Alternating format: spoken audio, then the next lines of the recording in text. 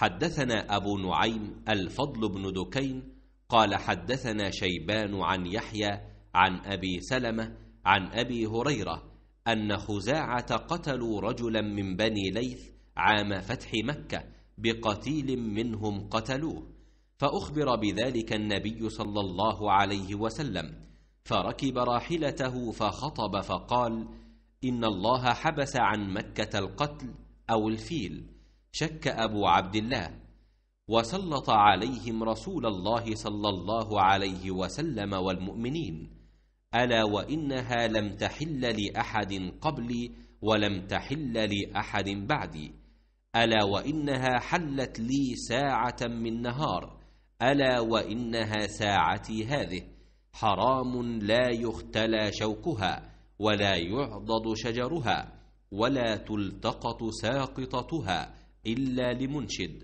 فمن قتل فهو بخير النظرين إما أن يعقل وإما أن يقاد أهل القتيل.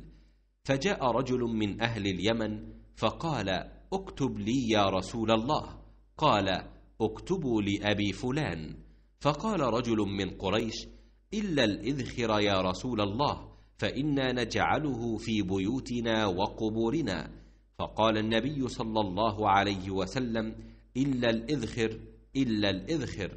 قال أبو عبد الله يقال يقاد بالقاف. فقيل لأبي عبد الله أي شيء كتب له؟ قال كتب له هذه الخطبة.